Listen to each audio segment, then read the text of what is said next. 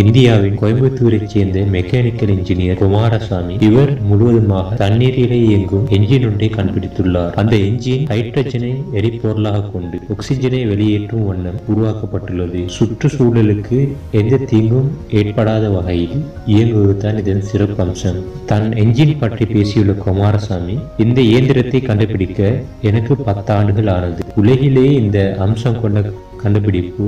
இதுதான் முதல் முறை. இந்த என்ஜின் ஹைட்ரஜனை எரிபொருளாக எடுத்துக்கொண்டு ஆக்சிஜனை வெளியேற்றும். இதை முதலில் இந்தியாவில் தான் அறிமுகப்படுத்த வேண்டும் என்பதுதான் எனது பெரும் கனவு அதற்காக இங்குள்ள பல நிறுவனங்களின் கதவுகளை தட்டினேன். ஆனால் யாரும் எனக்கு வாய்ப்பு வழங்கவில்லை. அதன் பிறகு என் திட்டத்தை ஜப்பான் அரசின் பார்வைக்கு கொண்டு சென்றேன். அவர்கள் உடனடியாக எனது வாய்ப்பு வழங்கினார்கள் விரைவில் இது ஜப்பானின் பயன்பாட்டுக்கு வர உள்ளது. இந்தியாவிலும் விரைவில் அறிமுகமாகும் என நம்புகிறேன் என்று இவர் இவ்வாறு தெரிவித்துள்ளார்.